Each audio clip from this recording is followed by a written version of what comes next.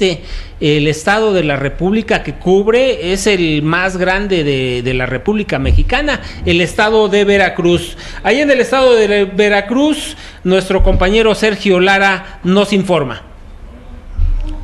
En la Comisión de Quejas y Denuncias se determinó bajar más de 22 spots de todos los partidos políticos a nivel nacional por diversas circunstancias, señaló el consejero del INE, Julio Roberto Ruiz Aldaña. El integrante del Instituto Nacional Electoral, INE, dijo que uno de todos los casos es el que se presentó en la entidad veracruzana, donde se bajaron los spots de Morena en Veracruz. El jueves pasado eh, sesionó eh, la Comisión de Quejas y Denuncias y por supuesto que eh, por mayoría de dos votos a uno, y yo voté en contra, eh, determinaron eh, la mayoría de integrantes de la comisión que se bajaran dos spots eh, de Morena en Veracruz.